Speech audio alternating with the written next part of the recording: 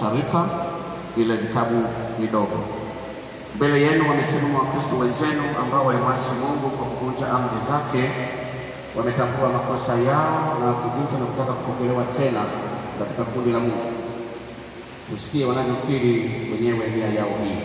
Wapendwa mnaotaka kupokelewa katika kundi la Bwana, na wauliza ili mkiri wenyewe kila mmoja kwa mdomo wake nia yenu hii mbele ya washirika wenzenu na mbele ya Mungu mtakatifu. Je, mmetambua makosa yenu na kwamba kwa makosa hayo mnamhuzunisha Roho Mtakatifu na kanisa la Mungu? Kama ndivyo, mjibu ndiyo, tumetambua hivyo.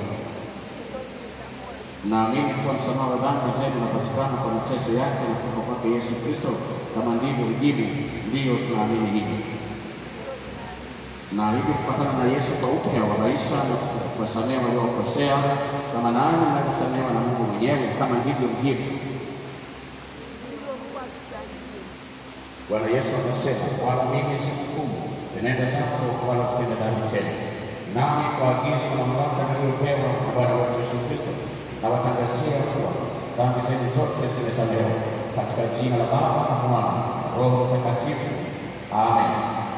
Kwa kuwa mmekwisha ungama dhambi zenu kwa midomo yenu wenyewe, nanyi mmetangaziwa msamaha dhambi, Wakristo wenzenu wameshuhudia kurudi kwenu katika umoja wa ujamaa wa Kristo. Mungu amani wajalieni kudumu katika ahadi yenu siku zote. Roho Mtakatifu aingie mioyoni mwenu apate kuwatakasa ili mpate kuzaa matunda mema. Jina lake litukuzwe sasa na hata milele. Amen. Naomba washiriki kumwangia maneno yale meusi.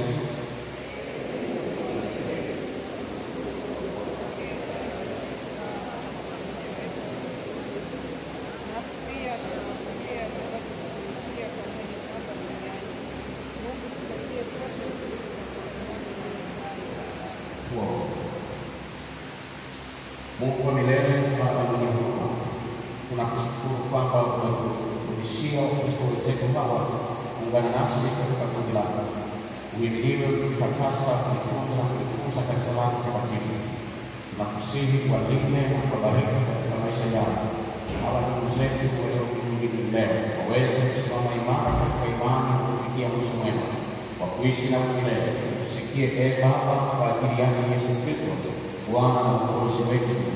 Amen. Piga magoti. Pokea baraka. Bwana kubariki na kukulinda. Bwana kuangaza uso wake na kufadhili. Bwana kuinulia uso wake na amani. Katika jina la Baba, Mwana na Roho Mtakatifu. Amen. Yesu Kristo anasema, kwa mwaminifu atakufa, nami nitakupa taji ya uzima. Enenda kwa maji Bwana wetu Yesu Kristo, usitende dhambi tena. Inuka kwa kutumikia Bwana Mungu wako. Amen. Simameni. Wapokee kwa mazito matatu. Naomba wageukie usharika. Mazito mengi mengi. Mazito matatu nayo. Asante sana. Mungu abariki sana kwa uamuzi huu. Naomba rudi nakaa.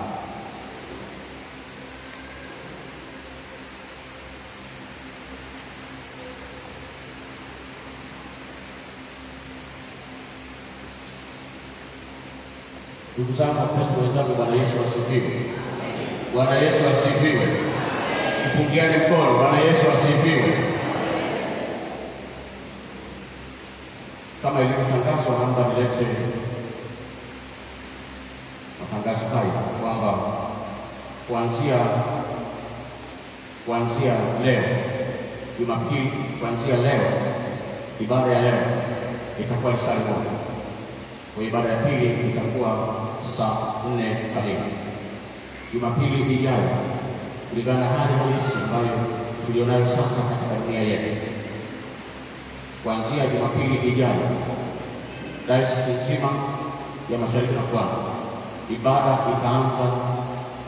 Ibada zitakuwa tatu kulingana na mazingira ya sharika. Bwana asifiwe. Kuna sharika zingine zinaweza zikaendelea kuwa na ibada moja mitaa mingine ikawa na ibada moja, sharika zingine ibada mbili, sharika zingine ibada tatu, kulingana na ukubwa tulionao kwa usharika wetu wa kijiji. Tutakuwa na ibada tatu kama tulivyokubaliana na baraza la wazee kama cha juzi usiku.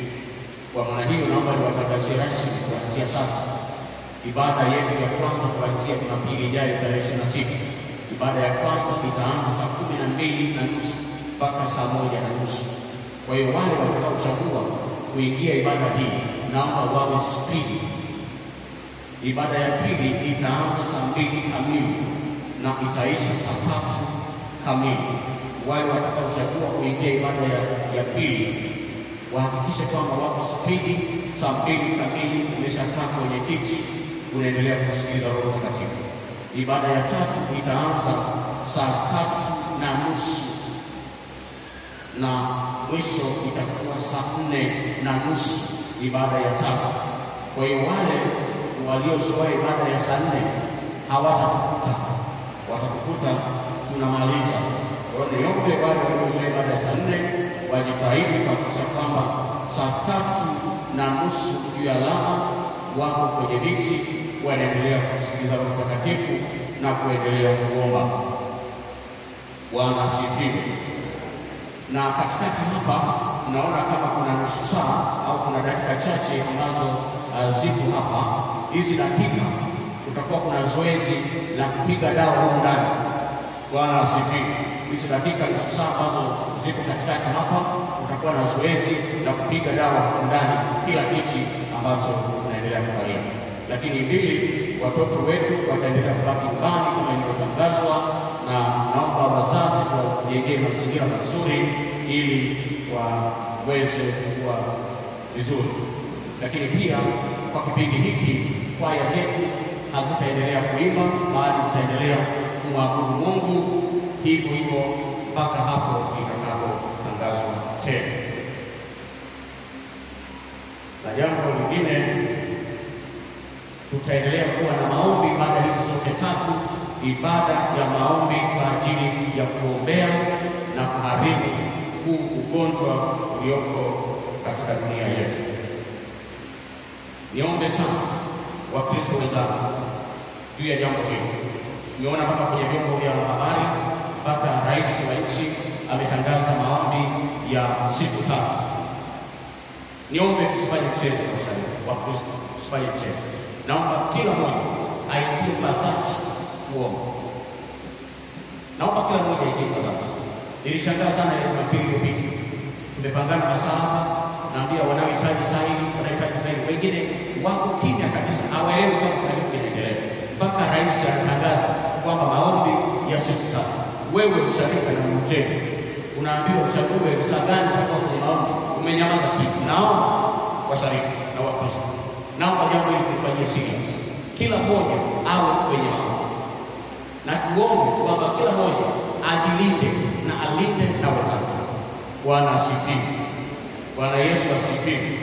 Kwa maana hiyo basi, tumefungua tume, tumefungua live YouTube, tumefungua live YouTube.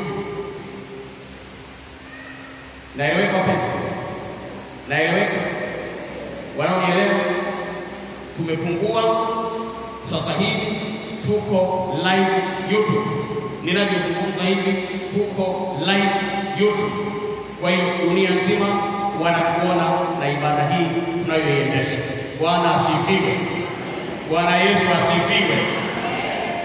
Na hili nimeliandaa in case inatokea kitu chochote, na ndio maana mnaona kila Jumapili tunabadilika, kila Jumapili tunabadilika. Kwa hiyo niwaombe hata wale nyumbani, mwazoeshe kama wale wenye vyombo vya kitaalamu, fungua unganisha hii YouTube, unganisha kwenye TV yako, watoto waendelee kuangalia nyumbani mwenendo wa ibada nzima unaoendelea hapa. Wale wenye smartphone basi uh, fungua waachie watoto hata hiyo simu waendelee kuangalia ibada inayokuwa itakayokuwa ikiendelea mahali hapa. Bwana asifiwe. Bwana Yesu asifiwe. Bwana Yesu asifiwe. Wale wenye laptop hivyo hivyo, jitahidi kuingia ili uweze kuipata hii ibada, na wale watoto wengine ambao wamebaki pale nyumbani, wengine ni wakubwa, wako Sunday school, wangehitaji kuona ibada zinavyoendelea. Kwa hiyo tunaomba mwajengee mazingira kwa hii YouTube ambayo tumeifungua. Bwana asifiwe. Na hii YouTube sasa tunaonekana dunia nzima live hivi sasa, lakini pia naomba unapofungua, naomba uandike mchungaji Edson Mgeni. Amen. Andika mchungaji Edson Mgeni. Bwana asifiwe. Mtanisahau wengine. Ukiona umesahau andika mchungaji Mgeni, mchungaji Edson Mgeni.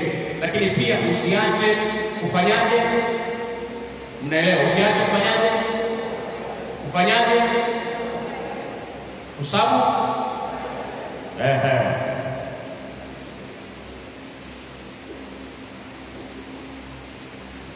Ili uwe unapata mahubiri mbalimbali ya kila Jumapili na mafundisho mengine yatakayokuwa yakiendelea. Lakini pia tutajitahidi, tutakuwa tutarusha mahubiri mengine na mafundisho mengine hata siku, za katikati. Kwa tutakuwa tunaendelea kutoa ma, ma, mafundisho mengine siku za katikati, alafu tutarusha vipande vipande. Kwa hiyo mtaendelea kufungua na kuangalia hali halisi na mafundisho yanayoendelea kwenye usharika wenu. Lakini pia ni waomba unapo subscribe, naomba ujitahidi kuwapa na watu wengine. Mko kwenye magrupu, waambukize na watu wengine, wape na watu wengine. Eh, nilishasema jivunie usharika wako. Kwa hiyo tangaza usharika wako, ufurahie usharika wako, wape na wenzako mafundisho yanayotolewa hapa. Bwana asifiwe. Lakini pia kuna wengine mna ndugu wako nje, nchi za nje, warushie, wape. Bwana asifiwe. Bwana Yesu asifiwe. Tutaendelea kutangaza, kutangaza, kutangaza. Kumbuka subscribe, lakini pia andika jina Edson Mgeni. Hivi sasa tuko live. Bwana asifiwe.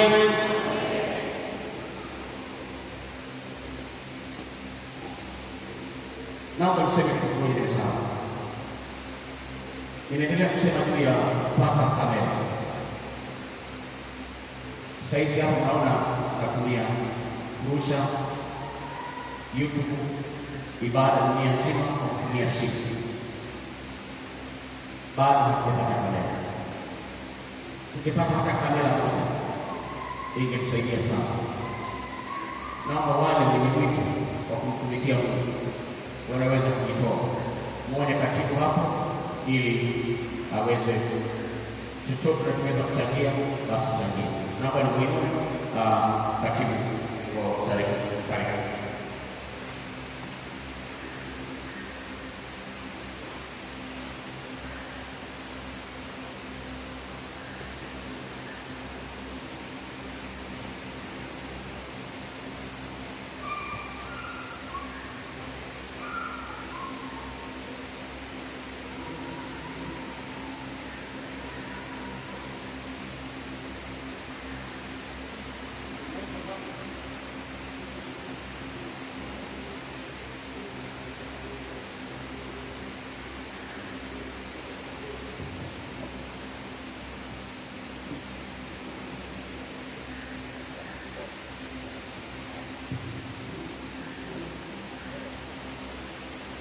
Bwana Yesu asifiwe.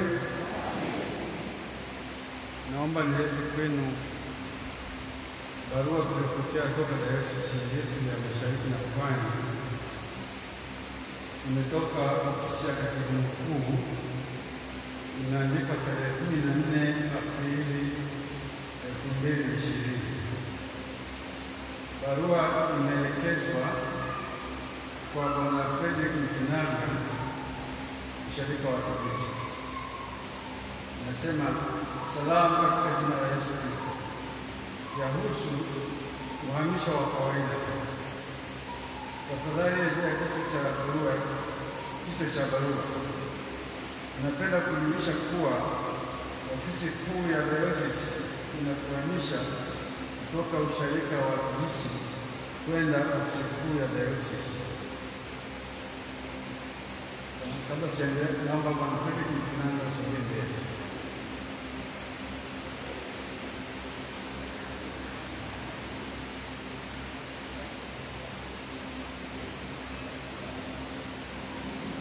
Na imani wote mnafahamu huyu kijana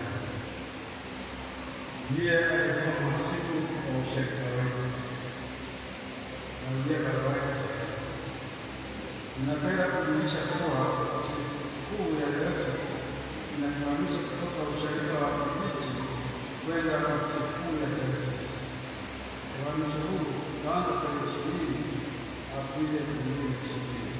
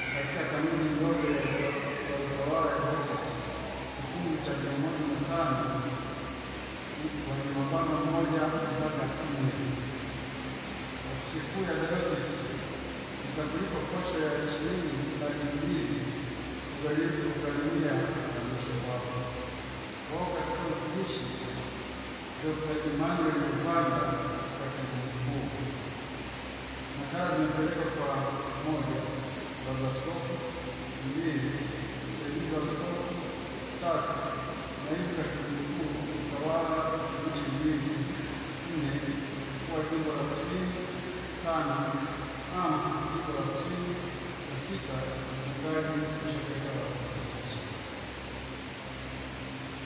Wanamfinanga Kirungu Fideero amepata uamsho wa kawaida kwenda makao makuu ya dayosisi. Na sisi hapa tunaitwa mbele, Siku akifika tutakutambulisha. Bwana Yesu asifiwe. Asante, naomba msiku basi tuseme neno la Mungu. Bwana Yesu asifiwe. Nipende kuchukua nafasi hii kumshukuru mchungaji wangu kiongozi, watumishi wenzangu, baraza la wazee, washarika wote, jumuiya pamoja na vikundi mbalimbali. Alhamisi iliyopita nilipigiwa simu, kuna barua yangu kwa masijara sisi, nikaenda nikachukua kwa kwa huo. Basi niseme niwashukuru sana kwa namna ambavyo tunashirikiana katika kutenda kazi ya Bwana. Niseme hapa kama kuna sehemu nilikwaza mtu au nilikosea, tuiane radhi, lakini yote ni katika utumishi kujenga mwili wa Kristo. Amina. Asante, kwa kubariki sana kwa utumishi mwema ambao umetumika pamoja nasi. Tunakuombea utumike salama. Labda niseme huu ni uhamisho wa kawaida, usiwe na maswali. Ni uhamisho wa kawaida, wahasibu wanahamishwa mara kwa mara. Kwa hiyo tulione kama ni jambo la kawaida, usianze kuuliza maswali ajabu. Mimi sitayajibu kwa sababu najua ni uhamisho wa kawaida. Amen. Hapana rafiki kama Yesu mia tatu tisini na nane moja wanaotoa shukrani ya pekee rafiki hapa mbele.